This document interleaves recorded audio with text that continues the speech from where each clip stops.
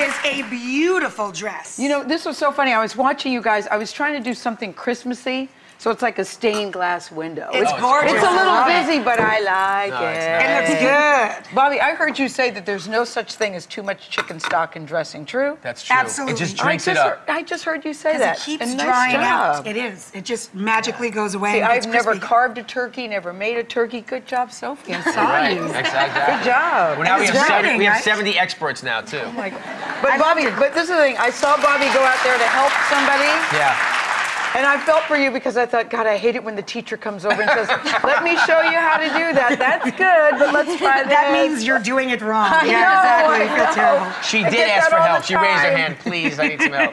I'm glad to be here. I'm I love it be when you make time for us. I And, love it. You know, for you, you should be asleep by now because you get up in the middle of the night. I know my schedule's nuts.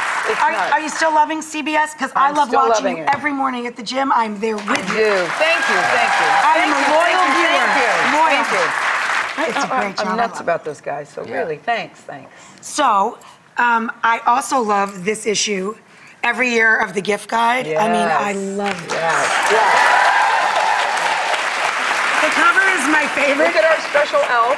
Jimmy, Kimmel, is the elf. Hilarious. I know, isn't that funny? With a Santa hat and green shoes. Well, you know, I love our list too. I mean, our magazine is a foodie magazine, so our list is like mostly foodstuffs. This is like my go-to for all things. It's just something of everything. How do you Well- guys assemble your list, and how difficult is it? Well, it's called Oh, the Oprah Magazine. so it's all things she likes. But this is so funny because I'll go to her and say, the staff, we got together, we really like X, Y, and Z. You're going to love it. She'll try and go, no, don't like it. Mm-hmm. How could you not like that? Everybody likes it. She'll say, well, it's called O, not G Magazine.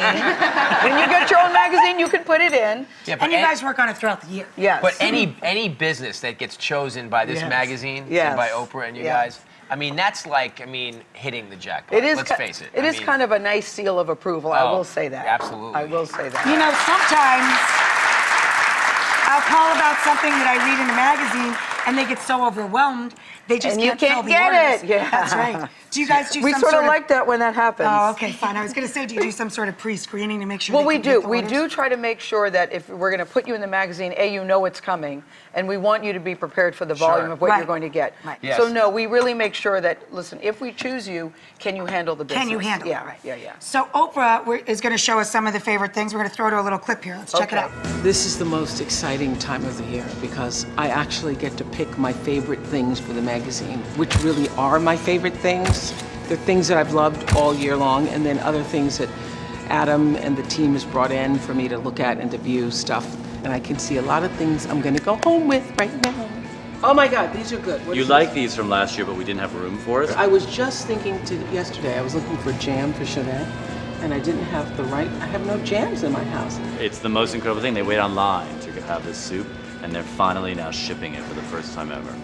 It's tomato and cream. Well, I say yes. If you are not growing your own fresh tomatoes and freezing them like I am, We found a lot of new truffle things this year. Truffle chili, truffle mustard.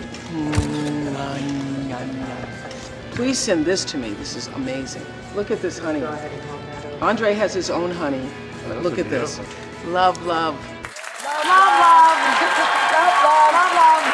And, and- and Oprah looks like she's having a great time picking all those out, too. You know, listen, Bobby, Oprah is turning 60 in January, but she is still like a six-year-old girl. Yeah. She really is. She's still such a kid at heart. She has that twinkle in her eye, and that's what everybody loves Yeah, about her. yeah, She's it's got the so spark. true. It's so true. You know, and I think that's an important lesson for everybody. You got to try and keep that spark alive. May we never grow out of that.